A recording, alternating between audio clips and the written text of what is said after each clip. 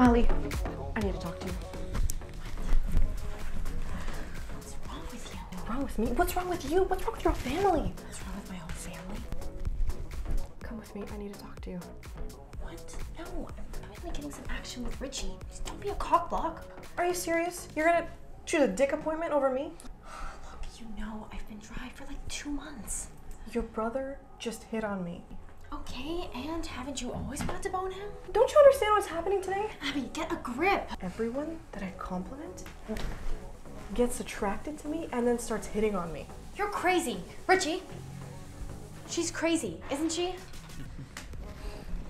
Hey, Ritchie. I love that hoodie. You know, you're the only guy that I've seen pull it off. What are you doing? Anyway, I'm thirsty, so I'm gonna get some water.